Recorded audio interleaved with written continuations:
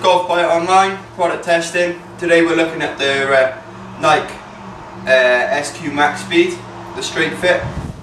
Uh, this driver is designed uh, aerodynamically, uh, which gives maximising club head speed as you can see round there, the ridge round there and the hollow out there. Increases uh, club head speed as the aerodynamics um, are much better than just a, a plain piece of metal. Okay, not the traditional looking driver head, square head. Okay, nice chrome face on the driver. There you got the black head. Again, you can see it's very square, not like a traditional driver, like I just said.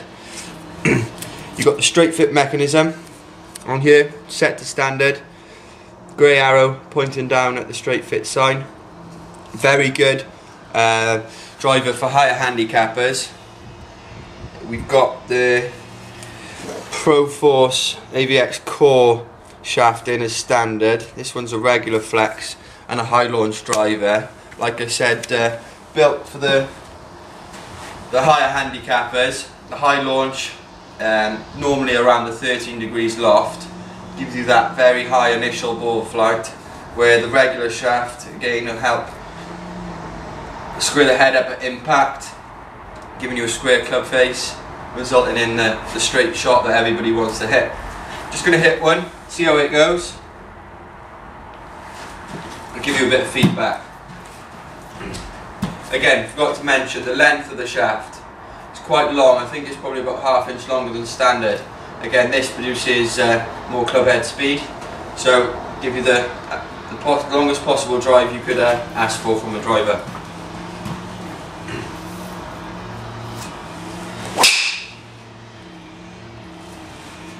Expected, very high ball flight, very spinny, starting off initially low for me and then spinning very high.